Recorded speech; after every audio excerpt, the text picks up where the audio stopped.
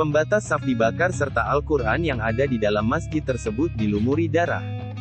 Video masjid yang diobrak-abrik tersebut diunggah oleh akun Instagram @andreli garis bawah 48 pada Minggu, tanggal 11 Desember tahun 2022. Berdasarkan keterangan pada unggahan tersebut, kejadian itu terjadi di Kecamatan Salaman, Kabupaten Magelang.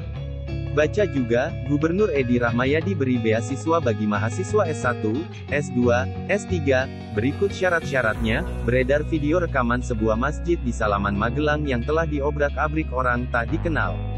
Pembatas saf dibakar Al-Quran dilumuri darah yang diduga darah mens, tulis Ed Andreli garis bawah 48 pada keterangan unggahannya itu.